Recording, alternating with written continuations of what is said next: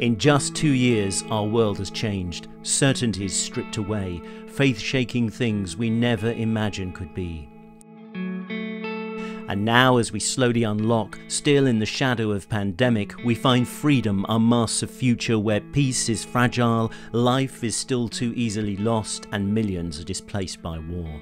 Never, amid so much uncertainty, have we been so sure that this is a time to seek God's heart for this world. This is a time to reimagine Bible mission. We are already reaching communities in war torn Ukraine with humanitarian and spiritual aid, but imagine if you had the resources to help those who come here as refugees. And imagine if you were equipped to help others already living in your community who are dealing with trauma. What if you could offer them Bible mission that speaks into their suffering? Navigating trauma is a way for people to feel the Spirit of God and to hear God's voice in their hurt, in their grief, and in their pain. So it's mind, body, and spirit. Imagine if you could reach families now free from lockdown bubbles with fresh ways to gather around the Bible and discover how it speaks into these difficult times and transforms their lives. It's a Bible that stays open in the middle of your living room or your bedroom and it invites the whole family not just to read scripture but to actively engage in it no matter where you are in your faith. And what if you could discover more about the Bible, how to read it, what it says about your life, and feel equipped and confident to share it with those around you? At Bible Society, we'd love you to join us in engaging with Scripture, understanding our neighbourhoods, and serving our communities in this new post pandemic world. So, together, let's reimagine Bible mission.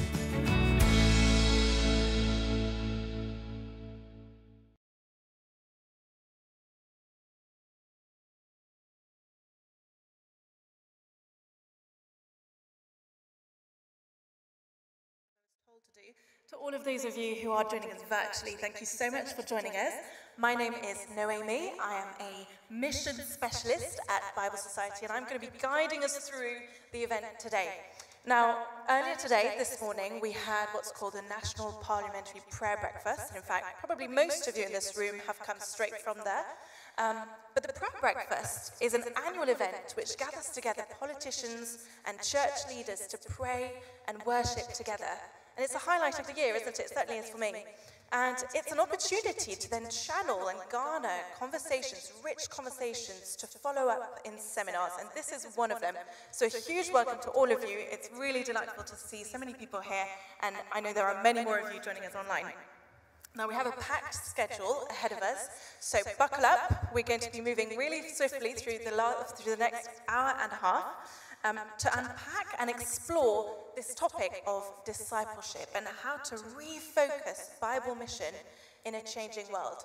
And we do find ourselves, don't we, in a changing landscape. If you were here a few minutes ago, you'll have seen, and hopefully online, you'll have seen the video as well. There's this general sense, there's this general feeling, isn't there, of having had the rug pulled from under our feet over the last two years through the pandemic. The cost of living is soaring. There is war on European soil. There is a constant influx of refugees from various countries, and the list goes on. So all of these things conjure up and raise up many questions for the church today. And those are some of the things that we're going to be talking about today. How do we rethink discipleship in a changing world? Now, we at Bible Society conducted a survey among church leaders in the UK in the autumn last year to really tackle this issue a bit further and to ask them Okay, what are some of the challenges which the church faces today? And this survey really came out of, as a result of, the pandemic. And the findings revealed some issues that we were expecting, some issues relating to mental health, maybe stemming from loss and isolation and bereavement. But there was also one central thing that kept coming back and back across all the leaders who were asked, and it was a sense of a lack of discipleship for followers of Jesus today. There's a sense that the routines and the patterns of discipleship for Christians have really been challenged and shaken over the last couple of years. And this is where we, Bible Society, need and want to step in. Discipleship is essential, is, is at the very center of what we believe. We are passionate about equipping and discipling the next generation. There's a lot to unpack. It's a rich conversation. There are a lot of layers. And we're going to be trying to make a start on that today. So we have an amazing lineup of guests today who will be offering us a range of various insights, various perspectives coming from diverse backgrounds, even from abroad. We've got domestic and abroad perspectives. And they're going to be speaking into this theme of discipleship and what does discipleship mean today? Um, they're going to be highlighting both some of the challenges that we face, but also hopefully we're going to be looking at maybe some of the openings that are also before us as followers of Jesus today for discipleship. We're going to be having a theological reflection that is going to be grounding us. We're going to have a series of interviews as well. And we're also going to be having an interactive discussion with you, the audience. And that's actually where I want us to start. We're going to dive straight in. So I want us to answer a question. I want everyone here, whether it's online as well, so you can do this online or in person, to start to think about the question what are the most pressing issues for the church today? So if you get your phones out, I can see that there's clearly a slide that's come up, come up. So get your phones out, and if you go onto your web browser and you type in slido.com, we're going to be using that software to gather some of the answers, and you'll be submitting your thoughts on there. So go onto slido.com. When you get onto there, you'll be asked for a password, and so enter the code Bible Society in one word, no spacing. Bible Society. So slido.com, Bible Society. And when, once you're in, you'll see the question, what are the major challenges for discipleship in England and Wales today? Now, I'm well aware this is a very broad question, so no biggie, but have a think. You're going to have about, I'm going to allow one minute, one minute, 30 seconds, um, to have a think about it, okay? And so throughout the event, keep that browser open. You can come back to it. But start to submit your answers. And what we're going to do is we're going to start to see a word cloud appear. And that's going to show up some of the responses. Now, we're not going to spend some time now looking at that. We'll be coming back to it later in the program, and there'll be a panel to start to explore some of the responses that we get from you, the audience. This is a really important exercise. We really want to hear from you. I'm going to stop talking, let you concentrate for about a minute,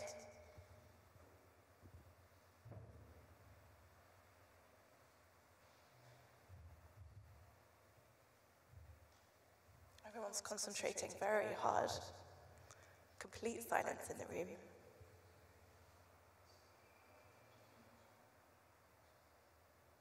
Okay, I'm going to allow 30 seconds. You can come back to it. What are some of the major challenges for discipleship in England and Wales today? Okay, right. I'm going to hand over to Professor Paul Williams. Paul Williams is the General Secretary, the Chief Executive of the British and Foreign Bible Society. And Paul, you are going to be saying a few words before we then hear from Professor David Ford, OBE, Christian theologian. And we're going to be drawing upon the richness of Scripture to explore and rediscover the biblical foundations of discipleship. So, Paul, you are very welcome. Welcome to the stage, Paul. This is my cue for Paul to come up. Um, and, and, Paul, we're going to be learning a bit more, aren't we, as, uh, as, well, about the community of faith that is so richly described in John's Gospel. So, Paul, welcome. Over to you. Thank you, Noemi. Um, and welcome, everyone. Uh, it's really good to see everyone at this um, Bible Society seminar following the prayer breakfast. Uh, it was great to pray together um, uh, in that space of Parliament, wasn't it? And, and I think that what it does it, it, when we're in a space like that, uh, whether uh, you can imagine it easily enough if you weren't there, is that we think about leadership and we think about the next generation of leadership. And we think about the quality of leadership character. And we begin to ask ourselves, uh, who are our leaders and who can lead us to a better place? And of course, the core answer to all of those questions is first about learning to follow Jesus Christ. And that is the theme of this seminar. Because we believe that there is something of a crisis uh, in the church, in our generation, around this theme of discipleship. And so that's why we wanted to give space to talk about it. And we're absolutely delighted to have uh, David Ford, OBE, come and speak to us. Uh, David, uh, you've read his bio. He is Regius Professor of Divinity Emeritus at the University of Cambridge. He's had a very illustrious career. Um, but what I want to do uh, in the one minute left before he comes and speaks to us is to encourage all of you uh, to get a copy of this book. Uh, this is David's theological commentary on John, and it's the product, the fruit of 20 years' reflection by one of this country's leading biblical theologians. And what is remarkable about this book, which I am just enjoying so much, I know several people with different levels, some of them with no prior theological background, are just loving the accessibility of the scholarship in this book. Um, John's Gospel, of course, is, the, is classically the gospel that we want to give, isn't it, to people who are coming to faith. You know, if you're, if you're wanting, well, what, what do we give out at an evangelistic rally? Often it's John's gospel because we know it's so um, somehow sort of connecting and accessible. Um, and yet there's such depth. And the amazing thing about this commentary, don't just look at it or put it on your shelf, but actually dwell in it and read it and get your different uh, English versions out and dig into this extraordinary text because it absolutely rewards the time. Um, I have loved, I've been reading John and reading different uh, commentaries on John for several years. Um, David and I share a passion for Lesslie Newbigin's uh, commentary, but this is a really special piece of work, and you will find it enormously enriching, no matter how much biblical scholarship background you may come to, uh, it will be accessible to you. So let me encourage you with that. And therefore, as I engaged with, with this and saw the way in which the theme of followership and discipleship was drawn out, I couldn't think of anyone better to talk to us than Professor David Ford. Would you come, David? Thank you.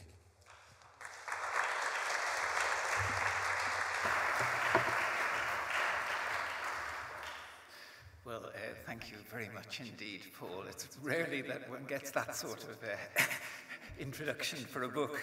and, but, but, actually, that, those 20 years spent on uh, the commentary have been one of the most extraordinary times in, in my life. I mean, and, and the amazing thing for me was that uh, every rereading of John seems to bring more, and there were more and more surprises. Chapters I thought I knew in advance, you know, had surprises, surprises, you know, as, as, as one got into it. And, uh, and I, I came at the, the end actually thinking that the purpose of a, a commentary like that is really to try to turn everyone into habitual rereaders of the Gospel of John, so that you too have the same sort of experience of the sheer abundance. You know, from his fullness we have all received grace upon grace upon grace upon grace.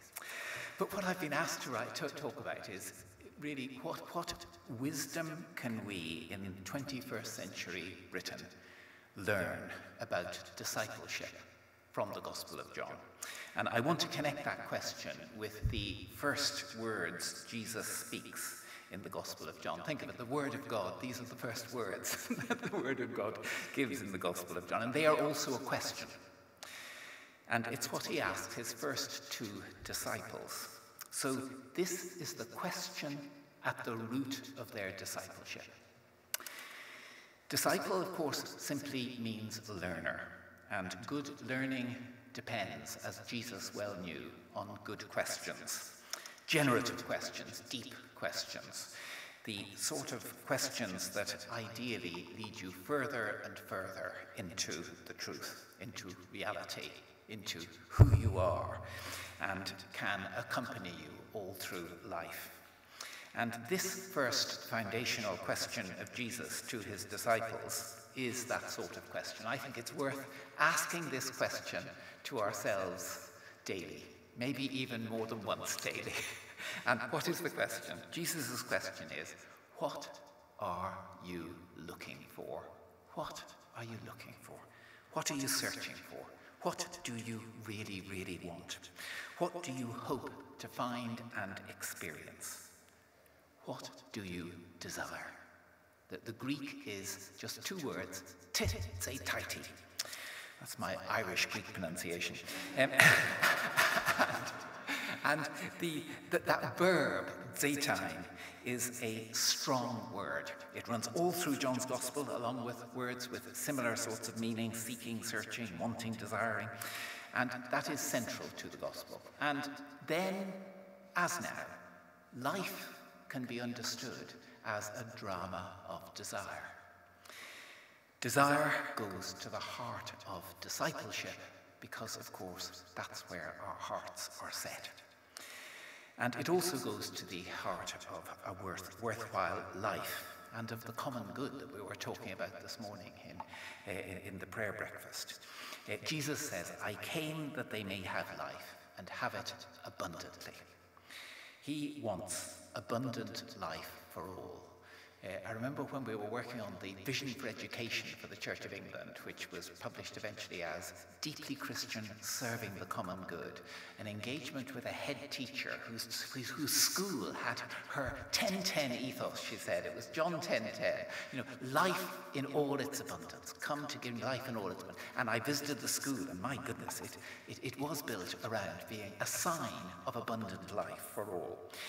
And Jesus demonstrated this, of course, too. He did signs of abundant life for all, all that wine at the, at Cana, the wedding in Cana, for everyone there, not just for his own disciples. You know, all the feeding of the 5,000, all those healings, and of course, all that teaching, the meaning, the truth, the purpose, the making deep sense of life. And at that great festival of Sukkot, tabernacles or booths in Jerusalem, which centered on harvest and water, in other words, life, and on light, meaning. Uh, Jesus cries out to all the crowd, Let anyone who is thirsty come to me. Jesus is about desire. And a huge amount of our personal lives and our culture is about desire. Life is full of choices, decisions, hopes, fears, things we want and things we don't want. The need to prioritize this activity over that, or this relationship over that, possibilities for joining this or that group or movement, and orienting our lives in one direction or another. It goes on and on. There's never been, I think, a culture in history more saturated by so many stimuli to desire through so many media. Click on this. Vote for this, buy this, eat this, drink this, like this, watch this, read this, learn this, believe this, protest against this, visit this, imitate this, be like this, follow this person, and so on. They're all about desire, aren't they?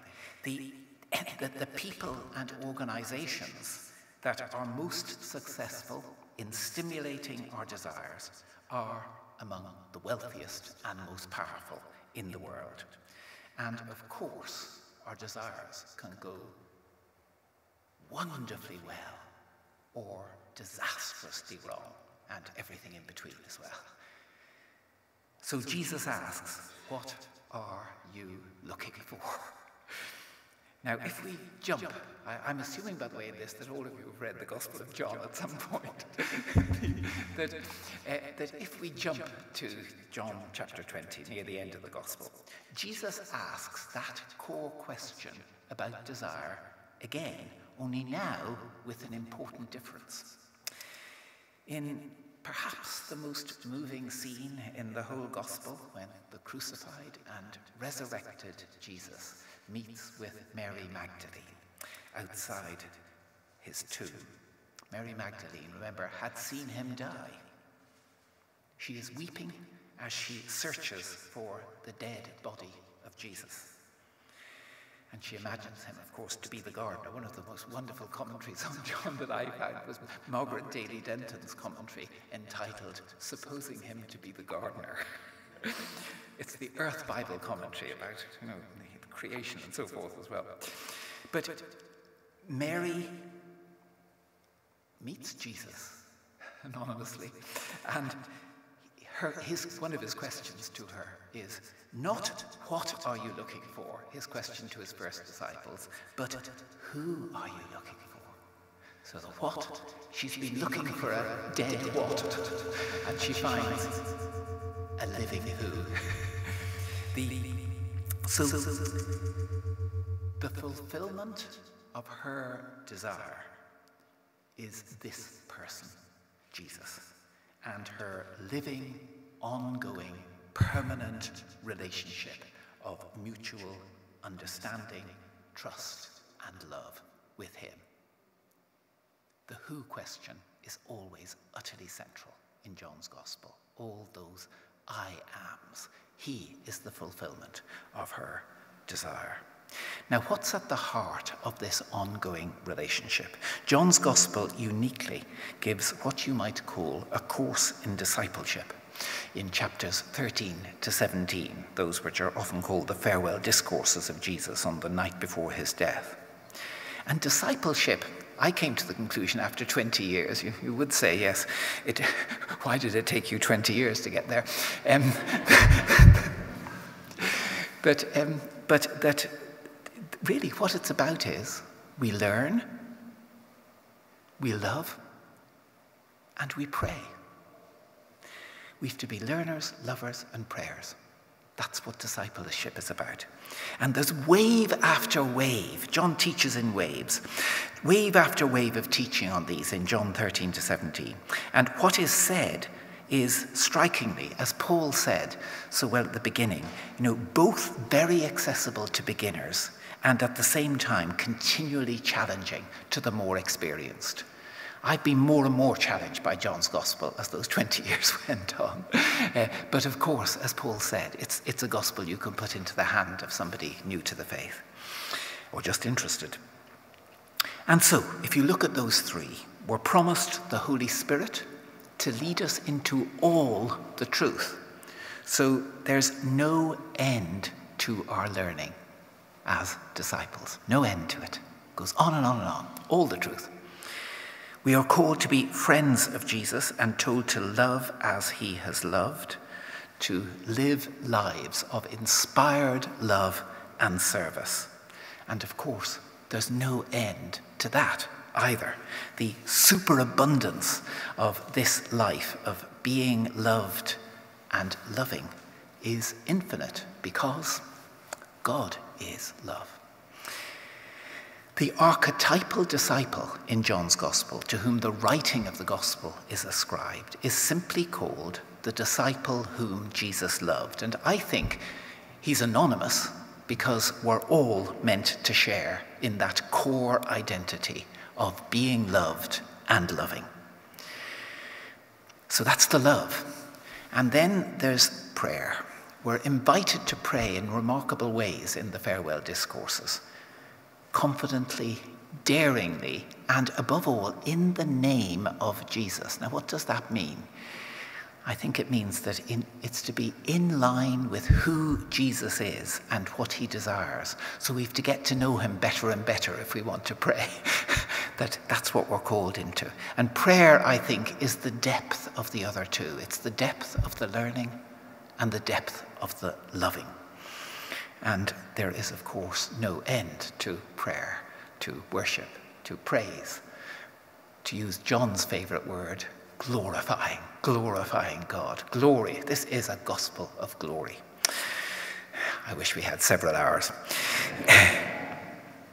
now, all of this, the truth and learning, the loving, the praying, the glorifying, culminate in what I have come to consider the most important most profound and most inspiring chapter in the Bible the prayer of Jesus in John 17.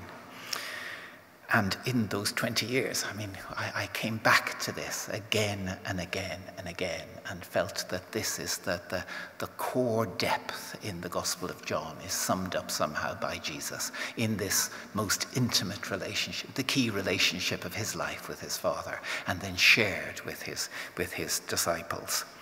And what it gives is the final, ultimate desire of Jesus as he prepares to lay down his life in love.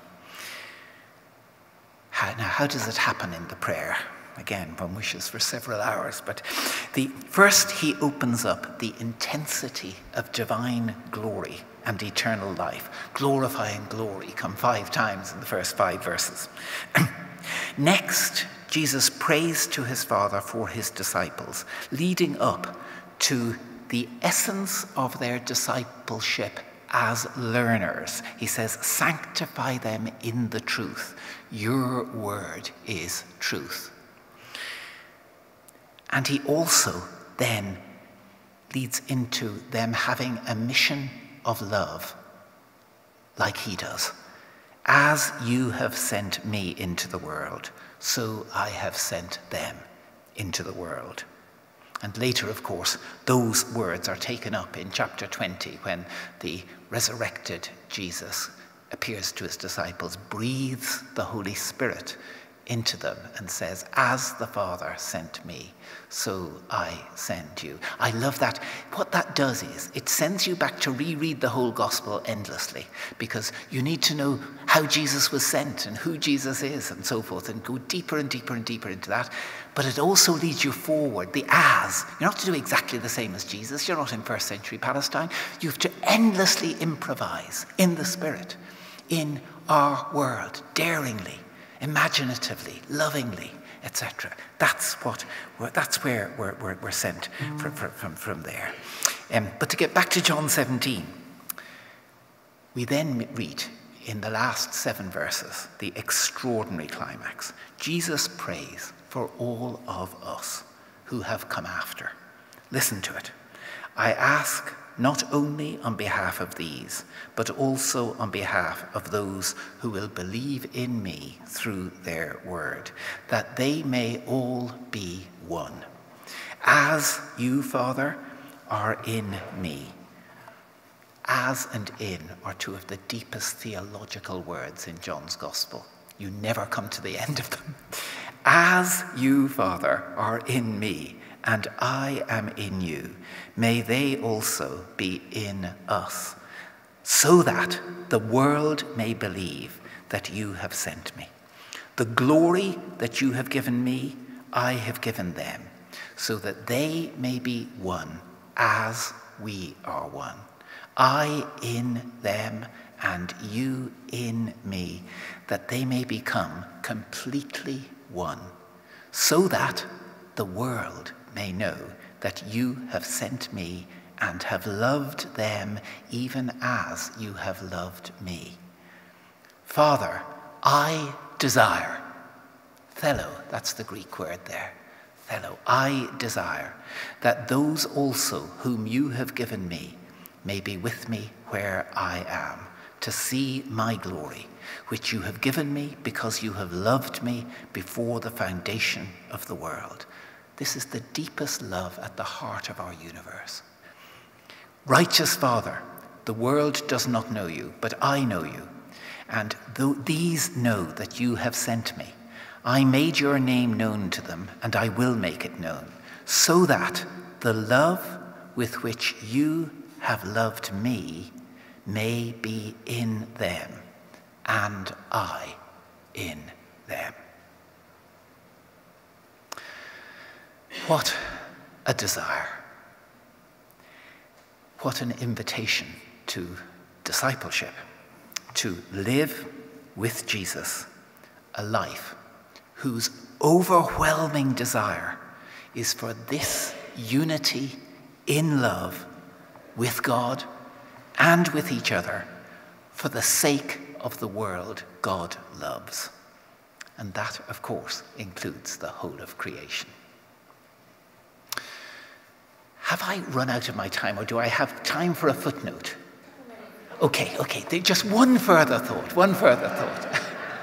One of my great experiences in 2009, on the, about halfway through the writing of this, was I, I read through the whole of John's Gospel. Richard Bauckham, one of my favorite New Testament scholars in this country, and Richard Hays, my favorite North American New Testament scholar, were visiting, we're in Cambridge. Richard retiring from St Andrews, Richard Hays on sabbatical. And I invited them to read the whole of John with me. And we put 21 dates of three hours each between July and Christmas. And it was absolutely wonderful. And they're both very different New Testament scholars, but both deeply uh, you know, in faith and also really theologically engaged you know, in, in contemporary things. So it was a wonderful, wonderful experience. But whenever they agreed about something, I thought they must be right. And, the, the, and, and when, they, when they came to John 17, they both agreed this is a sort of improvisation on the Lord's Prayer. It's a midrash, was the word they used, the Jewish term for, for that. A midrash on the Lord's Prayer. And it has changed the way I pray the Lord's Prayer. I'm sure many of you pray the Lord's Prayer at least once daily, uh, as I do. And this has really changed. So, look, the, the practical suggestion for letting this prayer be really part of your lives is uh, pray it in the light of, pray the Lord's Prayer in the light of John 17. And of course, remember that little bit of Greek that I've been teaching you, that, that when it says, your will be done, the word will in Greek is thelema, which also means desire. So, in other words, and it changes the feel somehow to say, your will, your desire to be done. You know, of course it's his will, but it's also his desire. And, and the desire draws us in to this extraordinary journey, life of discipleship. Thank you.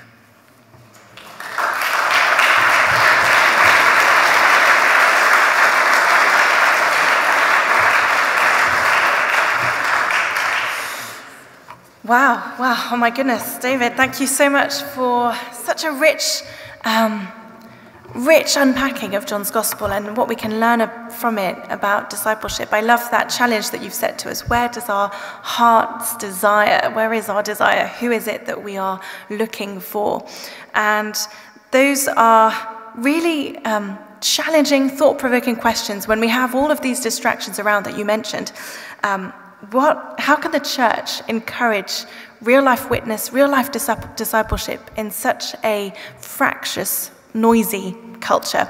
So we're going to continue on in that conversation. I'm actually going to grab this mic, which is still on, um, because we're going to spend the remainder of our time in discussion with various guests both from home and overseas, to really gather insights from different cultures and generations. So I'm going to invite Matthias up to the stage. Matthias, please give him a round of applause.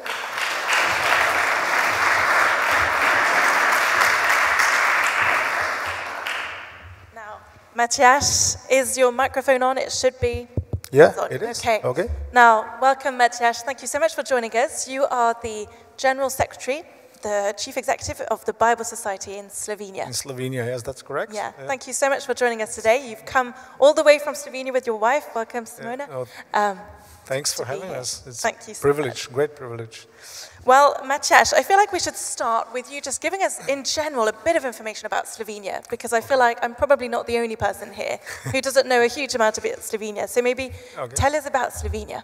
It's a tiny country in the central of Europe. Uh, it was part of uh, Yugoslavia, which some of you might remember, north western part of Yugoslavia. So we are bordering to uh, Italy on the west, Austria in the north, Hungary northeast, Croatia in the east, and we have a bit of Mediterranean. Uh, the population is 2 million people. And uh, yeah, we speak Slovenian language, which is Slavic, related to you know, Croatian, Serbian, Russian, Ukrainian. Mm, so yeah, we are a tiny nation, and also culturally we are kind of in a crossing between Central Europe and Eastern Europe, or Balkans if you want. So on a good day, we are both. On a bad day, we are neither. So that's what it is. Okay, thank you so much. And can you tell us a bit more about the church landscape, particularly in Slovenia? Um, yeah, the church landscape, I think in, in broadly speaking, it's quite similar to, to, to here. It's a post-Christian society now, nominally, there would be like 60% of population would say they're Catholic, so that's, that's the predominant uh, religion. But uh, in practice, maybe 5% would be like church-going, practicing Christians. The rest would be cultural Christians, and uh, many of those wouldn't even believe in the existence of God or, or life after death and things like this. So that, that's, and then uh, there's a strong, I would say, agnostic or atheistic camp and then the Protestant camp is mm, really small. It's 1%, and that would be mostly Lutheran in the Northeast. Okay, thank you. That helps give us a bit of a picture of what we're, what we're dealing with in your context. where we're coming, yeah. When we were talking a couple of weeks ago, you Yeah. also told me a bit about the fascinating history of the Bible and its role in the founding of the nation in Slovenia. Yes, th- that, that is quite fascinating, really. And we, we were discovering this yeah, not too long ago, but uh, basically, Bible made us a nation, and then Bible translation made us a nation. That, that, that's quite a statement. I- I, could go on for a long time, but back in 16th century, uh, we got our first books by the reformers. We had strong Reformation movement there, and uh, there the, the main question the, the, the was okay, we need to translate the Bible, but for whom and what language will we choose? So they chose a language which they called Slovenian, and it covered the territory which is nowadays Slovenia. Back then it was three different countries or lands. Uh, and so this Bible, we, we had, we are a tiny, tiny nation, but we had a full Bible in 1584 in our language. And even then, then the Counter-Reformation came and uh, erased Protestantism, but they kept the Bible. The Catholics kept the Bible, and it, that fixed our national identity. So really, it, it was, we are a byproduct as a nation of a Bible translation. So it, it's a great story. yeah. That, that is a great story. Now, we've seen, uh, we've talked about the impact that COVID has had on discipleship within the church in the UK. Can you tell us a bit more about the impact of the pandemic in Slovenia on the church? Uh, yes, I, I suppose it's similar. Of course, most of churches closed down, and there were there were there was a need to discover well new ways of being church, and many churches resorted to some small groups and so on and so forth.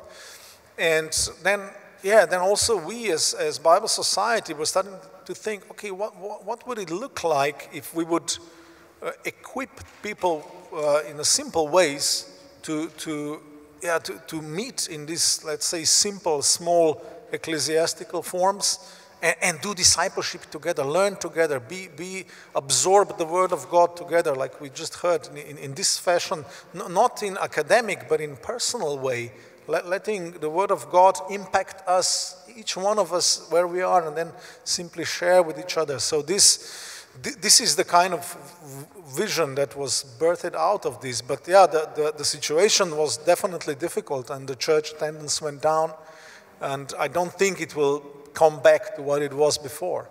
Yeah. You also mentioned to me, though, that there is hunger among a growing percentage of the population. Yes, yes, and th- th- that's, that, that's the thing that we discovered actually uh, from, from different constituencies, also from these, let's say, cultural Christians who belong to the church more, more in a, for, out of cultural reasons, not, not for personal faith. But, but we've seen that there is thirst there. So we wanted, as a Bible Society, as a mission focused agency, we, want, we, we, we wanted to see, okay, how do we serve those? How do we help those? And we've seen, uh, particularly in the Catholic Church, but other churches as well, there's a great need and, and space, yes, to, to form this simple, small, we would call Bible, we, we call them ecclesia actually, that, that's the, the term my Catholic colleagues chose. Uh, small ecclesiastic formations, simple groups of Bible sharing and, and growing together because we find, yeah, discipleship happens powerfully when, you know, go, just going back to this Jesus' word, like where two or three are gathered in my name, and we heard about how important this is, yeah, uh, there I am in the midst of them. So learning, building church from bottom up, let, let, let's, let's put it this way. Community, community. a thing. Community, yeah, simple community. So you said my passion is discipleship in a post-Christian society. So, so you've started to mention a little bit about that simple discipleship vision. Can you tell us a bit more about where you feel the role of the Bible Society fits into this context? Uh, yeah, li- li- like I said, we, we felt, well, well, we got some requests from the field, you know, and so, so we obviously saw, okay, there's hunger. So the, the way we, we, we started to approach this is to develop some tools, and one of, one of these tools is actually here. It's an edition of New Testament. But the main point is that, there's discipleship materials right there. It, it fits uh, partly also with a Catholic curriculum, but now done as simple Bible reading materials to be done in small groups in whatever ways. And then what we do is also we, we have basically like very simple seminars um, not so much teaching, but modeling how a little group like that does function. And so we do this. Uh, um, my colleagues from Catholic Church, they would uh, gather groups. We do it online mostly. Uh, they would gather interested priests or interested catechists or, or lay people. And, uh, and yeah, and they, they would just experience this, and there's, the response so far is really good. They say, wow, yeah, let, us do this. Let, let's, let's start to do this simple but powerful Bible engagement. Yes, things. because correct me if I'm wrong, it, it came out in January. Yeah, this, is so still quite to new. Totally new, but yes. you've had amazing responses already. So very, very good, very yeah. good. Yeah. So later on, I'm happy, if, if anyone is interested, I'm happy to talk more about this. Yeah, yeah absolutely. Do come up to Matthias at the end to, to ask him more about this. Now, lastly, finally, you are also part of the team who work on the first time common language translation of the New Testament. So, can you tell us a bit more about this and what you hope the fruit of this translation will have in Slovenia? Mm, yeah, that's correct. I mean, we are a very small Bible society, so I do all kind of jobs in one day, like up to seven. I counted. I can do seven totally different jobs. But I, I do, I do Bible translation. It, it's my passion. I see Bible translation as a, like really basic, primordial mission endeavor because it's bridging the gap from then there to here now, that language, that culture, this language, this culture, and especially this common language translation really wants to go, yeah, a bit further, wants to really talk to the, to the, to the, uh, we, we want actually to be uh, something that can be used by non-church people. So we avoid Christianese language, and, and, and that's difficult. When you start to go about it, it really is difficult. But uh, we are, we are publishing it bits by bit, so there's some gospels are out there, and we, have got some amazing feedback from young people. Uh, they say, oh, this really speaks to us, thank you so much. So yeah, we are somewhere somewhere midway, but but we see there's yeah great mission missional potential mm, in it. Absolutely, no, that's really encouraging to hear. Well, Matjaž, thank you so much. You're, you're you. actually going to stay here because we're about to okay. have a panel. So sit here. Um, but it's so exciting to hear about the brilliant resources that you and your team have been working on. Mm. As we said, feel free to come at the end to flick through this um, this New Testament and to speak to Matjaž. So do ask him any questions. Now. As promised, we are now going to look at the Slido responses. So there's going to be a word cloud that pops up at some point, and I'm going to invite up David and Paul up again. And I'm also going to invite Dr. Hugh Osgood. Now, you are Dr. Hugh somewhere. Uh, there we go. um, senior UK church leader and founding president of Churches in Communities International. So I'm going to actually move to make room for all of you to come up. You can start to come up now. And we're going to be looking to, at the discussion that we were, um, we're going to be continuing that discussion. We're going to be looking at those responses, answering the question, what are the major challenges for discipleship in England and Wales today? Marvellous. Um, while we're taking this in uh, and what these words are, I think um, I'm going to ask Hugh uh, if he would respond first. Matthias, thank you so much for what you shared from the context in Slovenia. It's really interesting for us in this country to hear from another country that's addressing uh, some of the post secular, post Christian type of issues.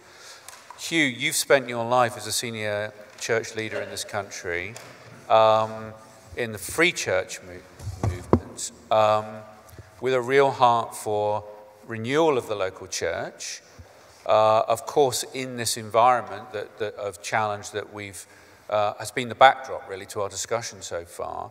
So, what kind of discipleship challenges have you seen and experienced, and how do they gel with the kind of words that we're getting on the screen? Well, I suppose really I ought to say that I've had a bit of an overview of what's happening in England and Wales for the last eight years, really, because I've been the Free Church's president of Churches Together in England, which means that basically I've had responsibility for knowing where the Methodist, Baptist, United, basically everyone who's not Anglican, Catholic, or Orthodox. So it's given me quite an overview. And one of the things I've noticed, particularly going through COVID and everything else, and even before that, is that when a church is, is failing, its first cry is, we need a discipleship program. And very often, what people do, they reach out for a discipleship program as if it's going to be the cure all. Yeah. And I just think that's one of the concerns that I've had that it's not so much a program that we need, it's a discipleship relationship. And it's trying to get that into people's thinking that I believe has been absolutely crucial. So when I look at some of these things up here, and I think like apathy and busyness and all of these kind of things, yes, we are encountering that when we try and put on a discipleship program. But what we've got to do is to come back to what, what David was saying, which is to actually uh, inflame people's desire so that there's something that's on the inside of them that wants this.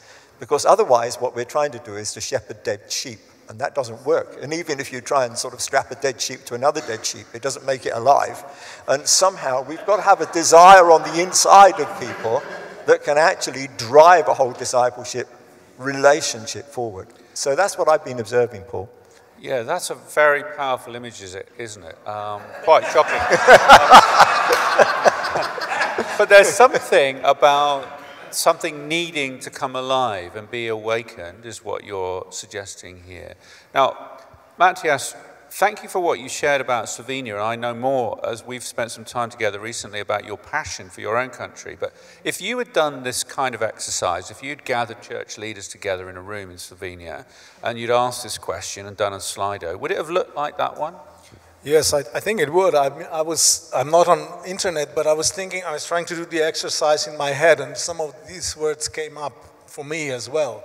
Like time, definitely and, and then confidence. Yeah, that's, that's where my passion would come in. How do I help people to get confident? You know, because I, th that's one of the, I think, one of the obstacles is definitely people would like to do things, but they're not feeling confident, that they don't feeling competent, they don't feeling empowered, and equipped, this so, kind of thing. So we're, we're, we're, we're getting, uh, I guess, uh, uh, David, I'm going to come to you now, because we're getting this sense, aren't we, as uh, I'm listening, uh, Hugh, that there's a tendency almost to kind of uh, panic a little bit if we see numbers dropping off and go for the latest program. But actually, what you're saying is it has to be relational. Um, and then we, we end up with um, a loss of confidence because it feels like the environment is hostile and we're losing. And we begin to lose confidence in the things that are actually central. Um, now, David, what is your commentary on these reflections? Because one of the things I loved about the way that you frame this whole thing is you ended up with this extraordinary vision that Jesus gives in that prayer of actually why are we why is there a desire at all what is it that brings uh, that, that is animating that desire and it's that being drawn into the heart of the love of the triune God and sharing in that love and that love for the world. Are we failing somehow to communicate the wonder and the glory of that? That, that you know, how do you respond to this sense of we, we, there's something that's not being quickened or awakened? Yeah, I think, I mean, I think the, the, I mean, the prologue of John is just astonishing. You know, it begins with the deepest meaning you can have, and it ends with the Son in the bosom of the Father, you know, the, close to the Father's heart, as the NRSV translates it. You know, you know, the deepest love. You know, and in between is Jesus. You know, and, and somehow connecting up the deepest meaning, Jesus, and the deepest love is, is the trick, if you like. that, you know, what, what. But, but, but I'm also really interested. I, I just connected two dots here. You know, you know, immediately I'm afraid I think system systemically, you know, and, and you know, you start making connections between these things and, and how, how they relate to each other. That ju just one line from lack of one-to-one -one to mentoring. Uh, you know, that, that if you look at John's gospel, there's more one-to-one -one deep conversations in John than in any of the other gospels. You know, and, and that's no accident. You know, yeah. the, the Nicodemus, the, the woman at the well, etc., the man born blind and so forth, that, that, that you know, it's, what, what I think John is doing, you know, as the fourth gospel, yeah. you know, it, the church has, has, you know, has been developing for some time. They know the problems. One the letters of 1 John give you some of the problems that they were going through. You know, church always has problems. Uh, you don't, you mustn't get too depressed about them. You know, that, that, that, that, you know but, but, but John knew that to go deeper into discipleship, to mature in faith, which I think is one of the basic things John wants you to do, you have to have one-to-one, deep, deep conversations. You know, and often, and for me, some of the deepest conversations have been around the Bible, around texts. Around text. you, know, you know, deep texts give you deep conversations, you know, because often just one to one, you know, you can get a bit, you know, but, but, but, you know, and, and I was so interested in what you're, it just rings utterly true. What, what like, you say, those small groups. It, it's, it's like an anti program, isn't it? It's yeah. the one to one. Uh, and Matthias, you did say this, didn't you? You're, uh, what you're finding. So, do you want to say a bit about that? that what it, are you finding that these uh, you talked about the sort of church being built again from the bottom up in this very close knit relational Bible study. It's, you know, I, I remember this from, you know, my, my upbringing in, in the 70s was, you know, um, Bible and prayer. Are we re, do we need to rediscover yeah. and stop trying to reinvent?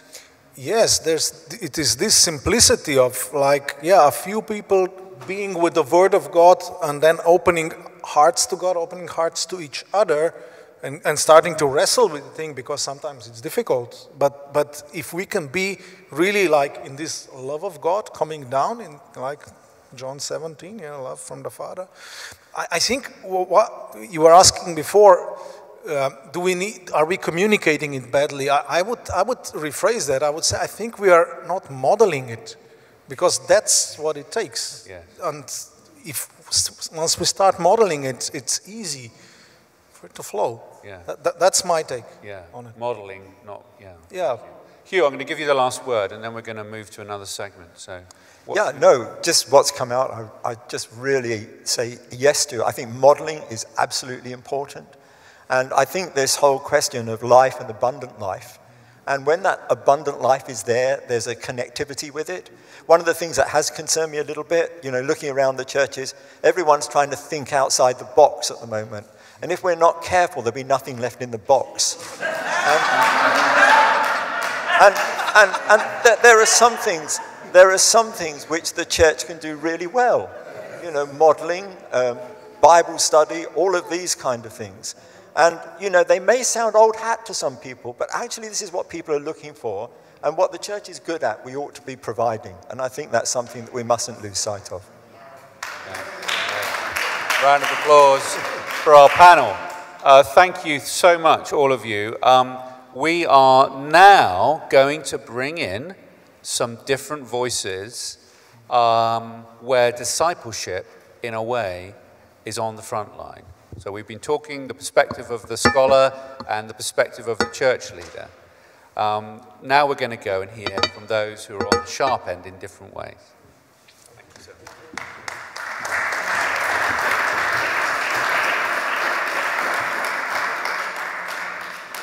Thank you so much, the four of you, for that rich discussion. And I love that. How do we come back to the simplicity of Bible studies, praying together, one to one, small communities of faith, rediscovering the simplicity of the gospel? As Paul said, we're now going to continue on hearing from various insights, and this is where I invite Jessica up. And Jessica, you are a year 12 student. You can come up to the stage. Now, correct me if I'm wrong, but you're studying French, religious yes. studies, and is it history? History, history yes, in Oxfordshire. So you're very, very welcome. You are you. our Gen Z, Gen Z representative, so no pressure on that front, but over to you to share your story with us. Thank, Thank you, you, so, so much. much. You're not good enough. You're worth nothing without that A star. Your opinion is wrong.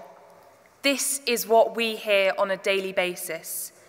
My generation and your children, your family and your friends are in a constant battle against the world, and we need your help.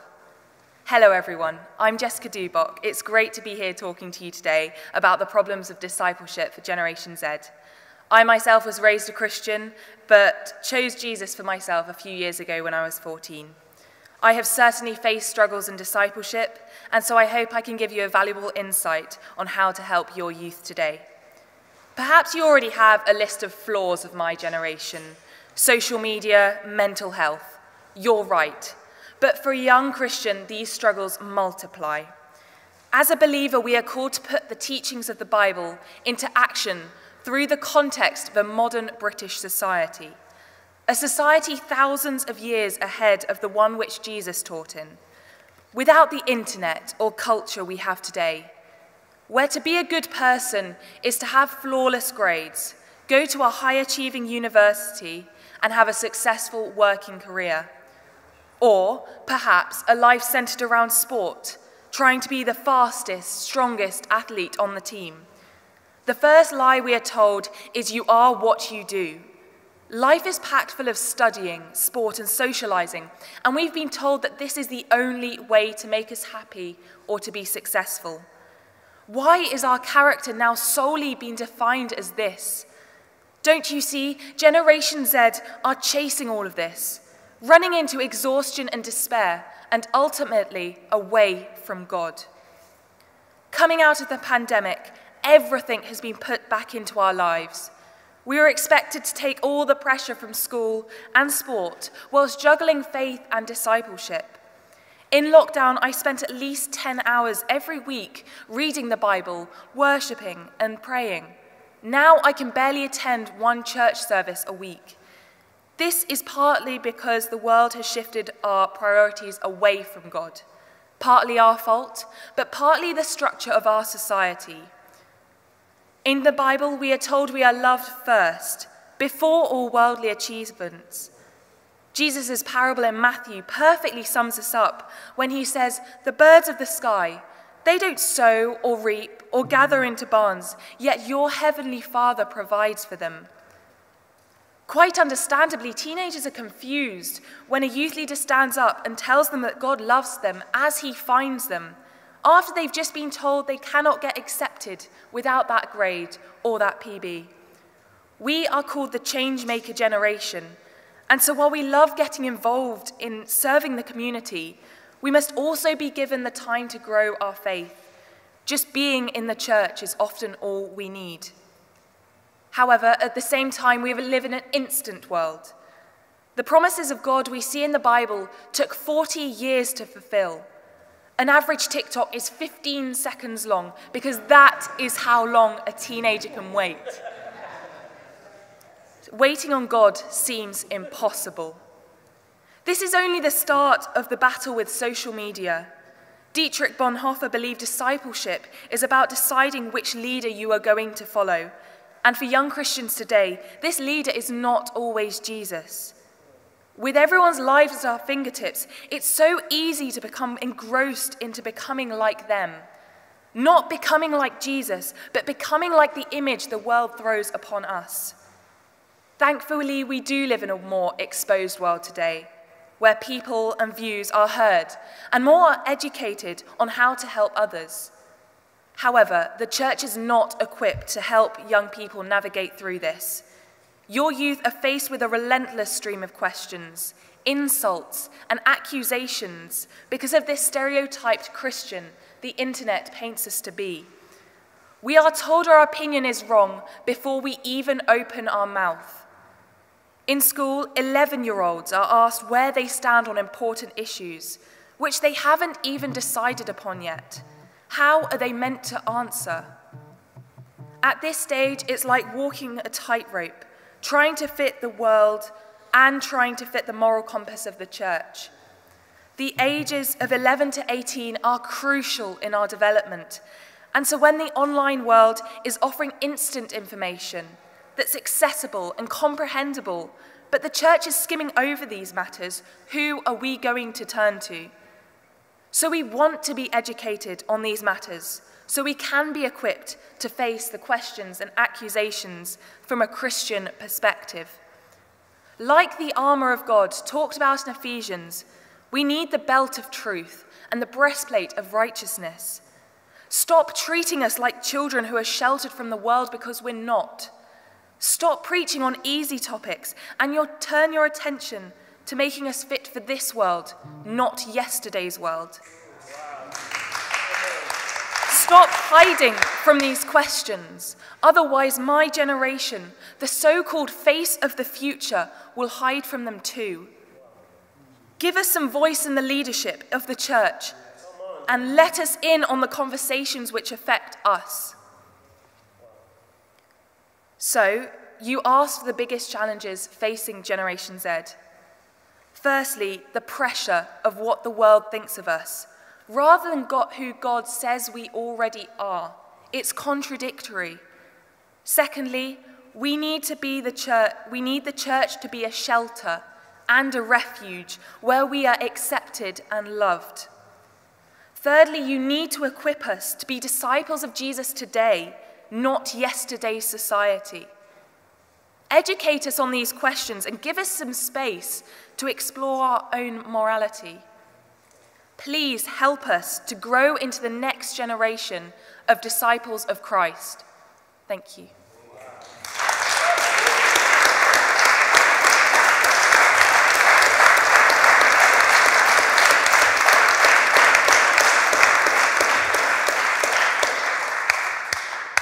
Wow, well done, Jessica. That was such an eloquent representation, wasn't it, of Generation Z? So a huge thank you to you.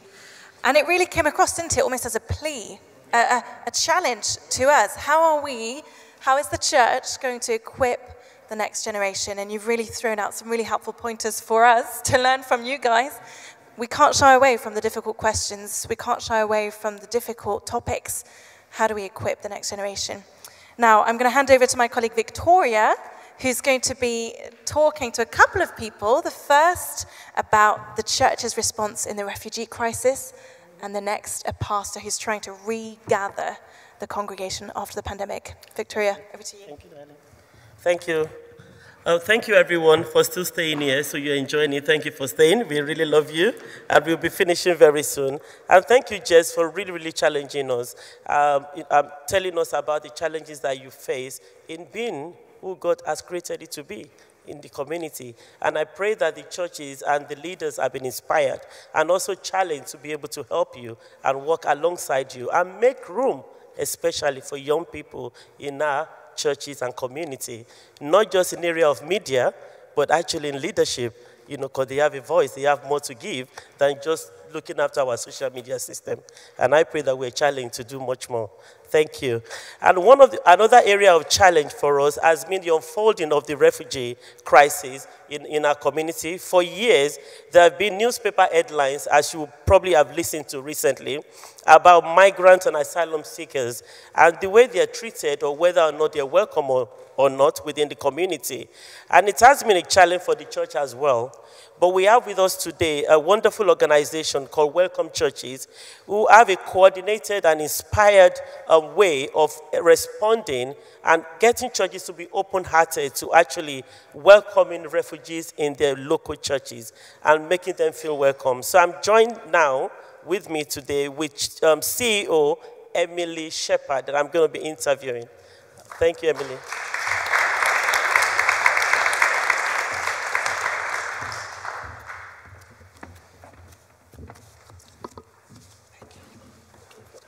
Okay, thank you for coming, Emily. It's good to be here. A hard act to follow after Jess, I think. um, so tell us, how has the refugee landscape um, changed um, over the last few years? Yes, so as we all know, the last few years has been dominated by COVID and the landscape for refugees, particularly those seeking refuge in the UK, um, has changed dramatically and continues to change really. Um, so in COVID, um, the asylum system kind of ground to a halt during that time. Um, basically because the government weren't allowed to make anybody homeless during that time, um, which meant that asylum claims weren't getting processed. Um, and that in, that resulted in the whole system kind of having a huge backlog. Um, and so now when we hear about people who are seeking asylum staying in hotels, that's because of that backlog and um, some brokenness in the system there. In the last 18 months as well, we have seen different groups of people um, come to the UK another challenge in the UK is that we, uh, the government try and give different groups of people different labels um, depending on what visa they're allowed to have, whether they're seen as being allowed to be in the UK or not. Um, but generally, they're all different groups of people who are seeking refuge in the UK in different ways. Um, so at the start of 2021, we were talking about people arriving in the UK from Hong Kong, um, and we've seen a huge number of people come to the UK from Hong Kong um, to different different communities. Um, over 110,000 visas have been given um, to people from Hong Kong. It's called a BNO visa, a British National Overseas. Um, and so it, that's the biggest mass migration movement to the UK since Windrush. It has a, a huge potential to change um, the landscape of our communities.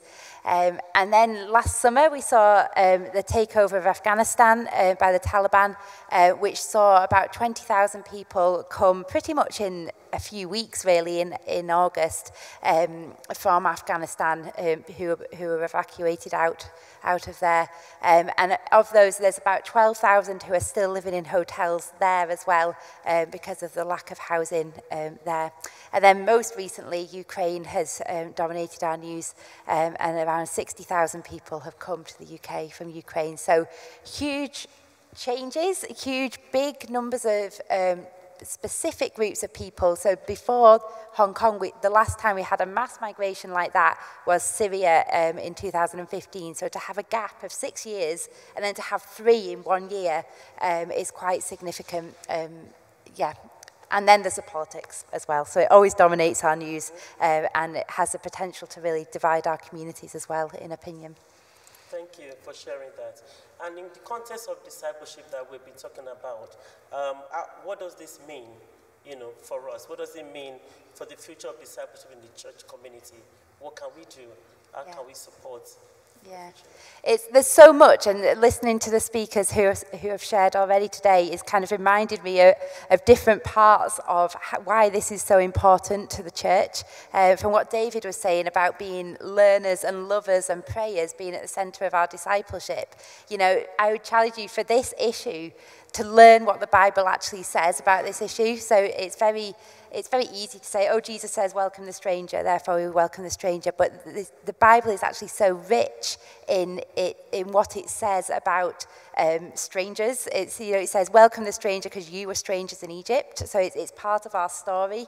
Um, it says live as strangers on earth so we should have a lot in common with the people who are coming as strangers to our community and uh, yeah, the, well, and God's church is for every tribe and tongue. And I think there's a special blessing um, of God's Spirit when we gather the nations in, in our church communities as well. So, um, yeah, and from what Matjaž was saying about Bible translation as well, it reminded me um, the Bible was first translated into Kurdish. I think it, I was trying to remember, it was around 2017. It was very recently.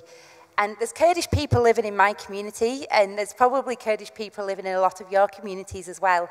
Uh, and so oh, it's only in the last few years that they have been able to read the Bible in their own language.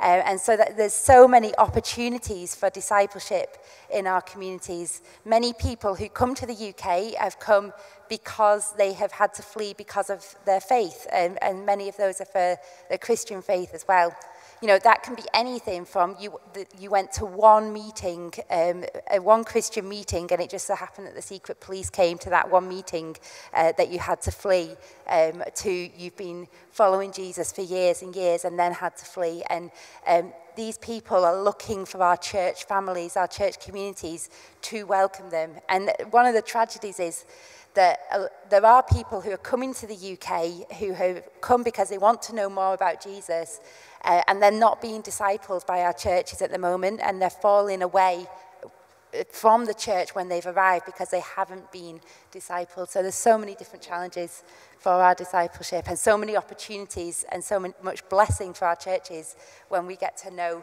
those who are seeking refuge here as well. Thank you so much. We are the light of the world and the salt of the earth. And part of being that light and that salt is welcoming refugees and making room for them and being intentional about supporting them when they're in a, a new country. So thank you so much for Welcome Church. I love the name of your organization, so I think everybody should embrace it because the Church of God should be welcoming anyway. Thank you so much. God bless you.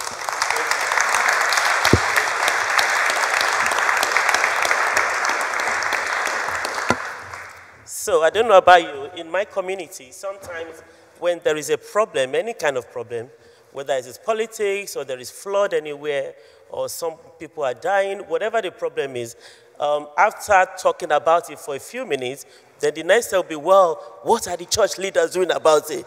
The churches should be doing something about it. The blame suddenly shifts from whatever it is that's been happening to the church leaders. So today I'm going to be interviewing Pastor Kola Taiwo um, from New Wine Church, who is going to come and talk to us about some of the challenges that he's facing or did face um, as a church leader in UK and how he's responding to the issue of discipleship. Pastor Kola Taiwo from New Wine Church. Thank you.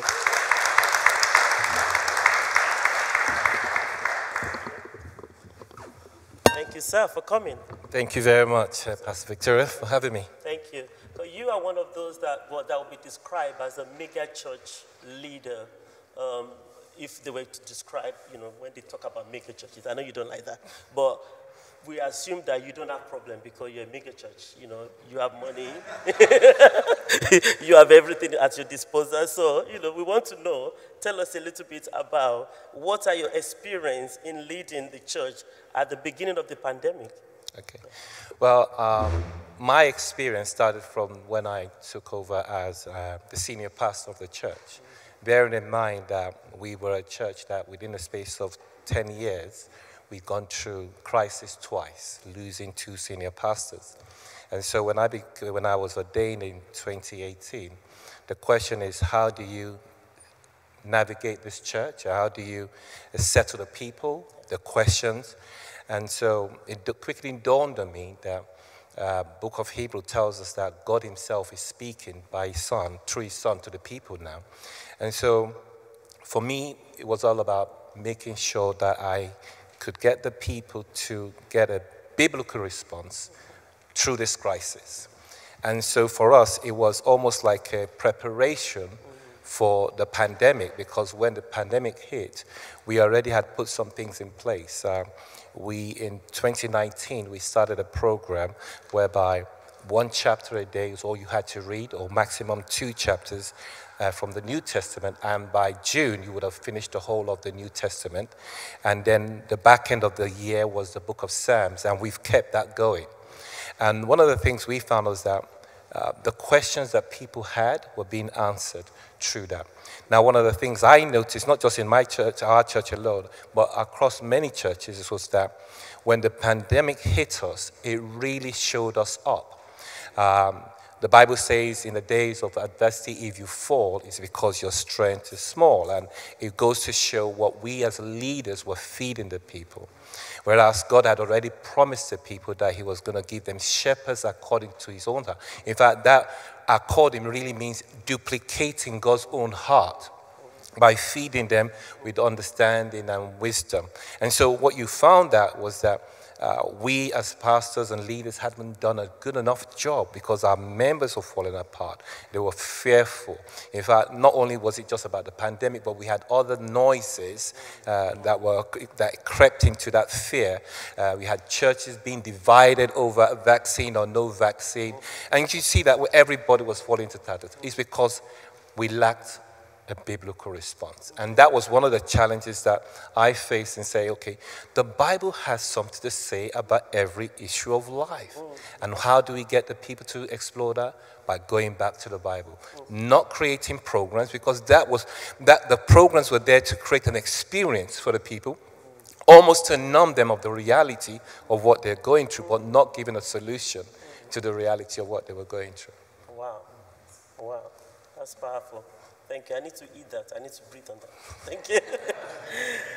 what did you discover, though, about discipleship during those days, and how did you encourage people to respond? For us, it was fairly easy. Mm. We didn't change tact. It was about now, what could we do about encouraging people to read the Bible for themselves? Mm. And so we devised a simple program where we had all the leaders mm. spend, put out uh, audio for more, not more than three minutes on reviewing each chapter for the day. Remember, we had got this going from January 2019, and so by the time we got into 2020, when the lockdown kicked in, what we just released was every day uh, a three minute summary of what uh, what it meant. I think we are in First Corinthians then, by the time it started.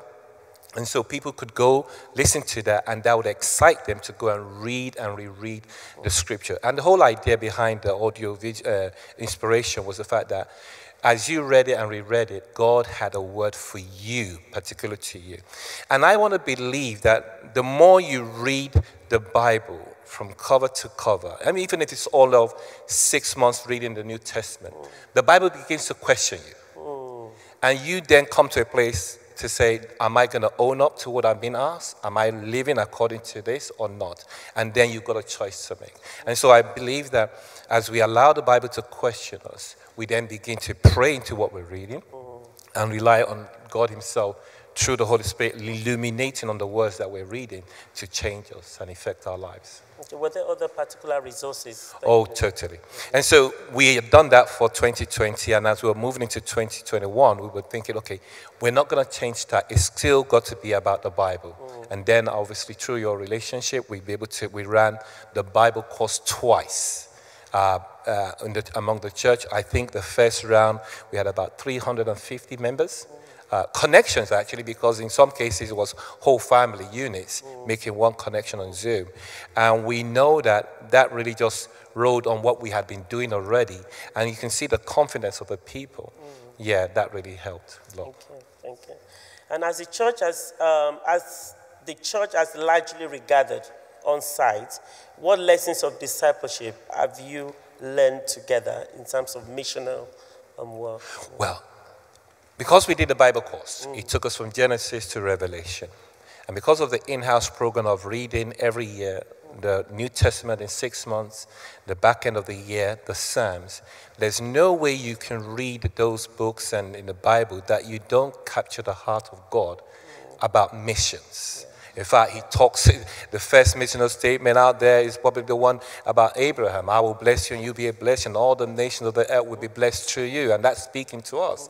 And so we captured, so then what then happened was that we have now spent a good part of this year just teaching on missions and evangelism, where Jesus says, go and make disciples. And I like how Professor uh, uh, David said it that a, a, disciple is a learner. In fact, someone will say a scholar. And so, truly, if we are scholars, learners, and followers of Jesus, we need to do that and then do what he says to us to create or make other disciples. And so that's what's been happening. And we've seen the change uh, in our church in the sense that um, the people are no longer so much focusing on their needs, but rather focusing on God's needs. And I like the word desire. Mm. And so I like it's about God's desire now becoming what the people desire as well.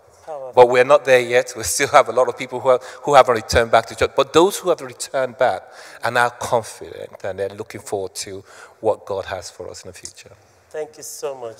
And of course, um, in my line of work, I meet a lot of church leaders, and different people have different vision for the church of the future. And uh, I just thought I would ask you that. What is your vision for the church of the future? I think the simple answer and the honest answer be, is that no man can have a vision for the future of God's church except Absolutely. for the vision that God has laid out in Scripture Absolutely. that we must walk in for His church. Yeah, thank you so much. Come on, that's. Join me too. Thank you, Pastor Kola, for your time. Thank you. God bless you, everyone. I'm now going to hand over to my professor, Professor Williams. Thank you.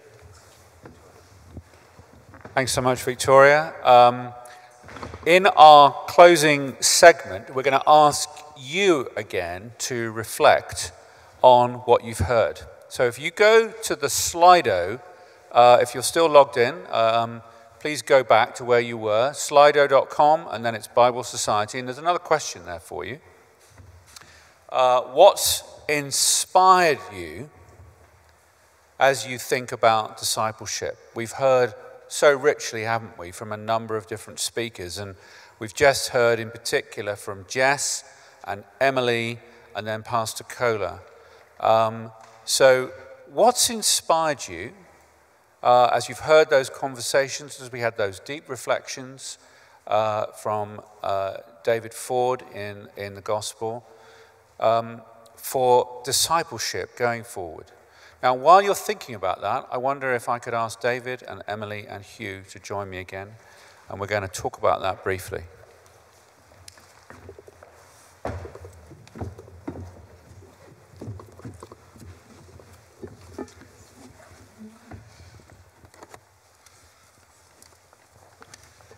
I hope everyone's putting their, their words in, and we're starting to get um, some, some voting come up.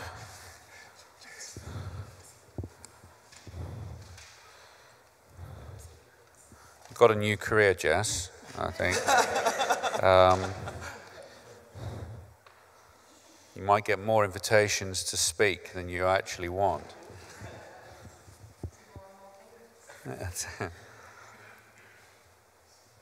Um, enormously rich.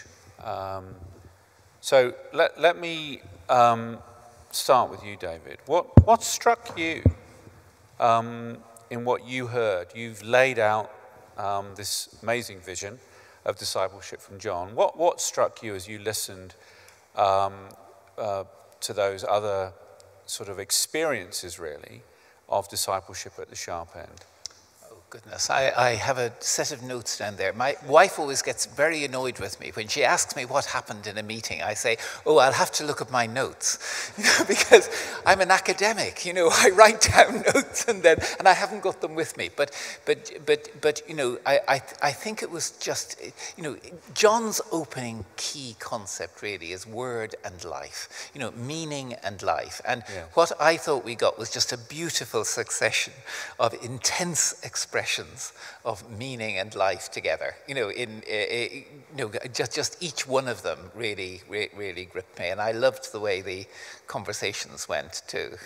So you know, I, it, it's it's not a not, not not just one particular thing, but. Um, just to say, I was sat next to David and I was reading his notes, and he wrote down that TikTok 15 seconds. So you learnt that, didn't you?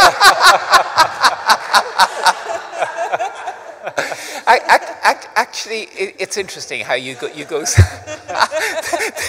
well, this is my children's world, you know, and and and it, it's extraordinary how you know Jess in particular just triggered off, you know, my children and their friends and younger, you know, the, the children of other friends whose kids are younger, you know, and so forth, and um, and I think this thing about the transgenerational thing, you know, just saying that actually you wanted to be in a church where there was that sort of communication. You know, you don't want to be stuck in a bubble of your own generation. You know, you need to have that transgenerational conversation. And I, I am just so convinced that that generational thing in the Bible is so fundamental. You know, we need multi-generation in all sorts of ways. And I see it happening in various ways. And it's so exciting when, when that happens, you know, because so much often youth work has been, you know, yeah. sending the youth off by themselves, you know, and, and the, the, those,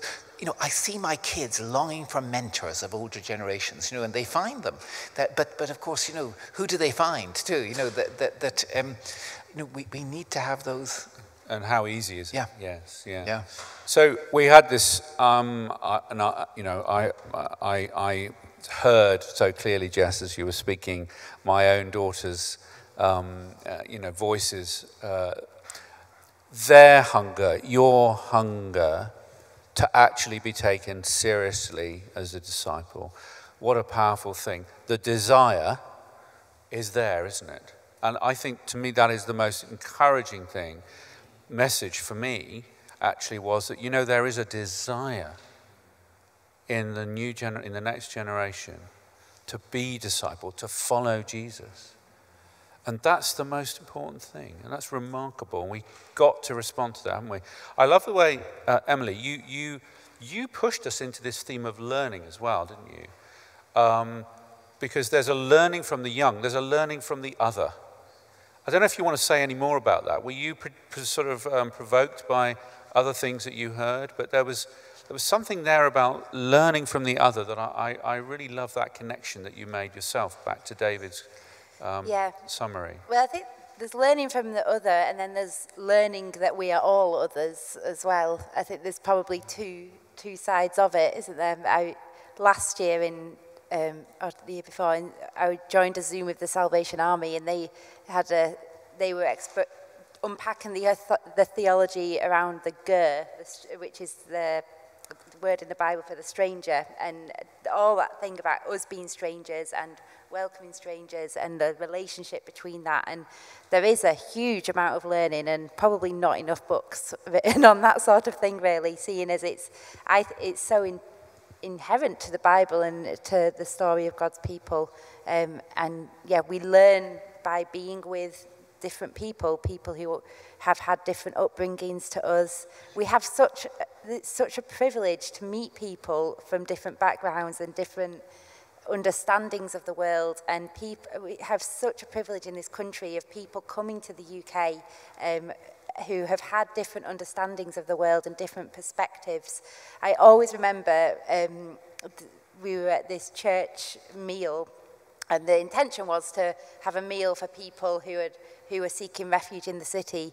Um, and there was one family there that were homeless at the time um, and being passed from hostel to hostel. And the, uh, somebody else who was also seeking refuge in the city, she said, they're homeless? They need to come and live with us. And she was seeking asylum and she didn't have any space in her house at all. But and everyone else there were, had probably one or two spare rooms, and, but nobody else was the first to offer. It was somebody else who had had that experience for, the, for themselves. That it was such a challenge to me to like see somebody's generosity more above and beyond what she could afford. Um, in yeah, you can just learn so much from other people if you meet them. We, we've had this setting that's been put before us several times, haven't we, by different speakers about um, the power of coming together in these smaller groups around a text and learning around the text. And I think one of the ways that this other kind of learning we've been talking about, the learning from the other and the learning that I also am an other, is we all have such different questions that we're asking of the text. And we will, when we're all finding, Pastor Kola, I love the way you brought this out, that the Bible begins to ask us questions back. And, it, and, and we will all experience different questions being asked back. That we're, we're going to miss so much if we're not doing that in these diverse communities. Um, so I, I, love that. And I, Hugh, I wonder if you could speak to us, because we're, we're, we are pretty much out of time now. But we, we had this, um, uh, you may have something that particularly struck you, but we, we had this thing at the beginning, didn't we, about the apathy and the confidence as the challenges. And as we've looked at the uh, inspiring, we've talked about igniting a passion and growing and the, and the presence of desire. Um, I wonder so, so that, that, that's been a real arc, I think, of our conversation today. But what about the confidence point? Is there anything, Hugh, that you would add into that and, and its relationship to discipleship? Yeah, I mean, there are a number of things that sort of tie into this. One statistic that always concerns me is that the average age of the church worldwide is getting lower, but the average age of leadership is getting older. And it really challenges me. And when I was listening to Jess and thinking about how we actually engage, recognizing what each other bring, it really sort of struck me. And, and one of the things I've, I've wondered sometimes is that I, I was talking to um, someone who was the administrator within the Church of England. I was having a meal with him. And he said to me, I'm no longer managing decline, I'm maximizing opportunities. and I thought that was such a great expression. And and if I could only plant that in every leader, I think what we would find is that instead of trying to create energy, which is really hard work, isn't it, to inspire and create energy in people, mm. we'd actually be looking for energy and releasing it. I think one of the things that we do as leaders, we get a little bit nervous at times about people that have got energy in our midst because we think that we might lose control. And yet, really, sometimes if we could release that energy, whether it's from younger people or, or from refugees or, or from wherever, and recognize that everyone's got something to contribute. And that really, you know, as leaders, we're meant to be facilitators. And I think in the early church, when I look at the way that Paul refers to the, the leaders at Jerusalem as being pillars, pillars in this building actually are just holding the roof up so that we've all got room to move around. If you've got short pillars, we wouldn't be moving around at all in here, would you? And I feel that the church does suffer at times from short pillars where we don't create enough space for people. So, you know, what I'm taking away from things like inspiration, jest, desire, all of those things up there, it really reminds me that if we create space, we're going to discover there's a lot more energy than we realized, whether that's in small groups or, or large groups. But, Hugh, there is something countercultural going on there, isn't there? Because you talked about the nervousness, where our anxiety, that lack of confidence, um, can mean that, you know, does, doesn't that connect? You know, Jess challenged us, didn't she, that um, don't, don't simply teach us and equip us for yesterday's no, equip us for today. challenges. Uh, stop hiding from the challenges of today. Um, it's very frightening, isn't it, to sort of open up that kind of space that you're talking about. It takes a lot of confidence to go into an area, a question, um, a challenge that's new. Uh, how, uh, how, you know, what's the key to that? Well, we have to do it. I mean, I, I, I realize that one of the things that we do as church leaders, we always look up. Who am I looking up to? You know, and particularly in some cultures, I see that looking up is really important. You're always finding whose coattails you can hold on to. I've learned that if I'm going to stay relevant, I've got to look down. I've got to build relationships with people that are younger than me. And, and there is a risk element in that. But, you know, it's something that we've got to do. And I think that I've found that by, by relating down, I've actually got a lot of inspiration that's come into my life mm.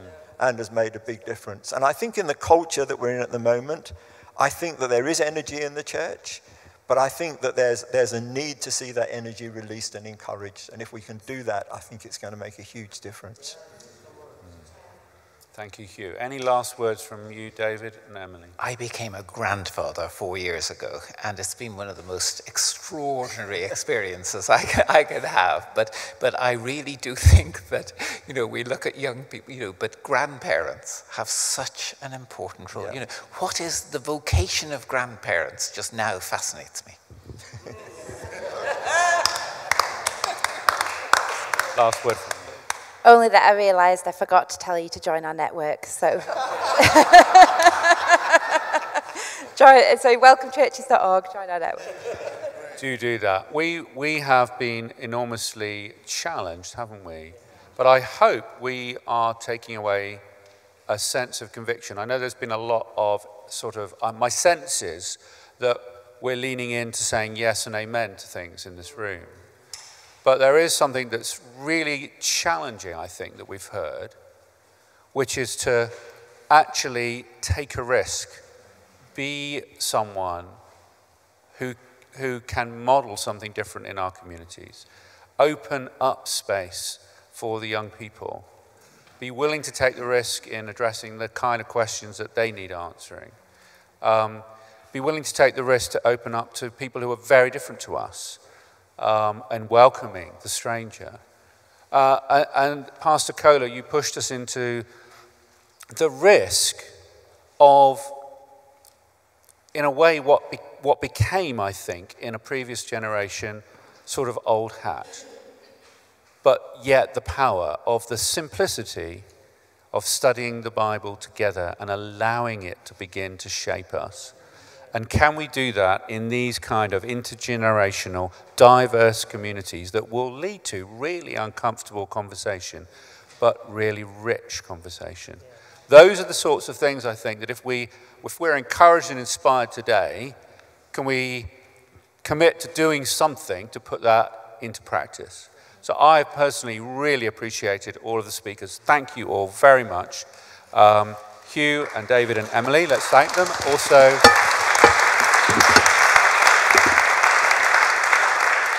and of course, Pastor Kola and Jess. But I'm going to invite uh, uh, Osaba Otaigbe to come up. He is one of our church engagement managers.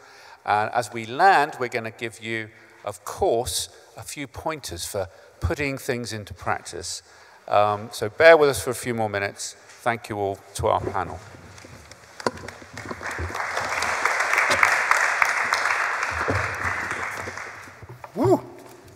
Great stuff from all the speakers. Wow. Um, thank you so much. That was awesome.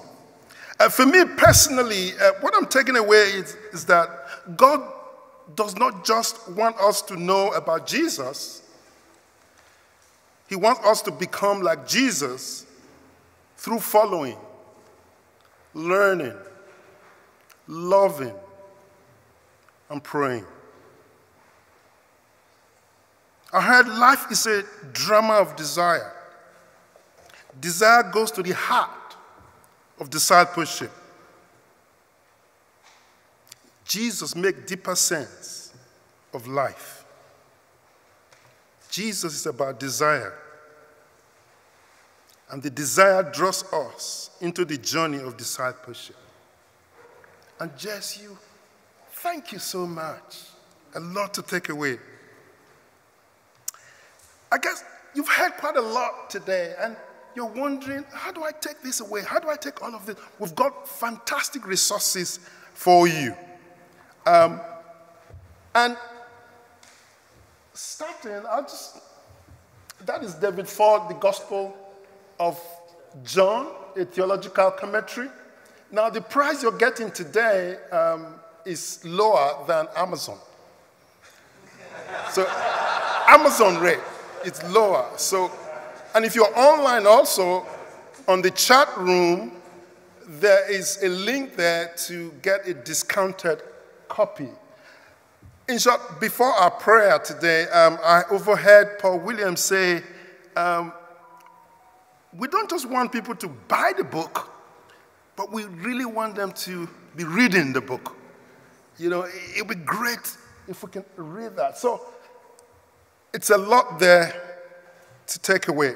So um, it's at the rate of 26 pound uh, instead of uh, 39.99. And online also you can get that. Exiles on mission, how Christians can thrive in a post Christian world. A must read, a must read uh, book. I have personally read it twice, uh, and I've heard Paul, and I've heard Paul uh, a lot uh, say a lot about that. Uh, um, and then again, it's discounted. It's discounted, and I really will encourage you to grab a copy today. And if you're online, uh, if you're part of our online audience, there's a link. There'll be a link for you in the chat room. And also, we've got the Bible course. I'm sure a lot of us have heard about the Bible course. The Bible course will increase your confidence, equip you to read the Bible better, and help you to see its relevance to daily life.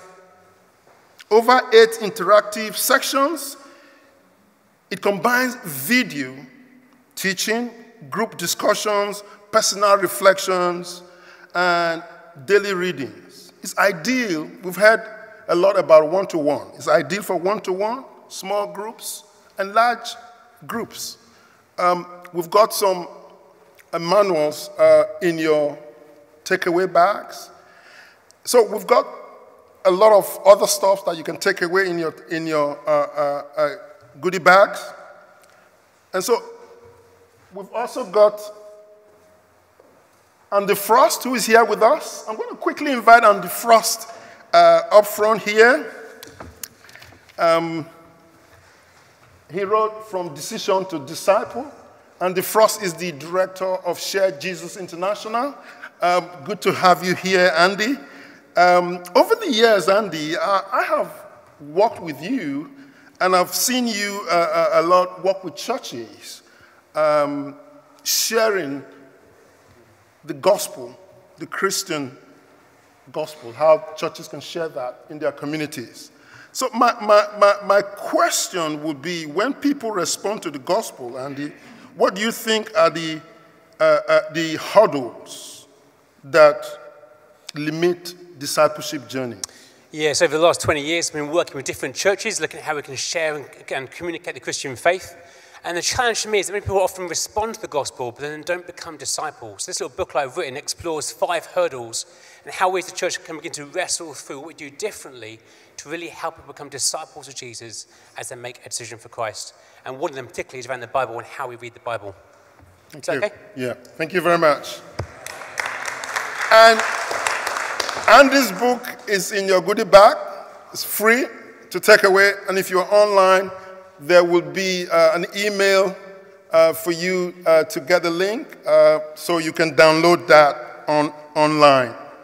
No, I, that's, that's here. Online, you can. Andy? Yeah, great. How to nurture new Christians through the early stages of following Jesus. Then we've got the breaking ground, the church and cultural renewal, uh, weaving together theological insights, sociological insights, theological wisdom, and practical recommendations. Breaking the Ground by Nathan Mladin is an extended essay on the nature of culture, the dynamics of cultural change, and the church's role within God's mission of renewing all things. It's also in your goodie bag, and you can also get a link to download that online. So, all of these are resources to help us uh, just continue to take what you've heard today forward. And we pray that God will continue to bless us as we continue this journey together in Jesus' name. Amen.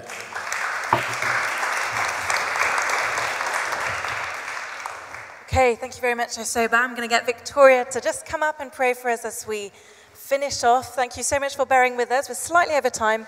Victoria, do you want to pray for us? Father, we thank you for this moment. Thank you for the opportunity to gather together to talk about you, to deliberate about how we can serve our community. What a privilege. We thank you, Lord, because we've learned so much today. But we just pray, Lord, that our desire from now on will be to be more intentional to disciple, to make disciple for you, and even as we continue as a faithful disciple of the Lord Jesus Christ. We pray that as a light, we continue to shine your light in our communities, We'll be the salt in our environment, and we pray that, Lord, more than ever before, that the Word of God, the Bible, would take a central place in our society, our schools, our homes, and nations across the world, and ultimately in our homes, our family. This we ask and pray in Jesus' name. Amen.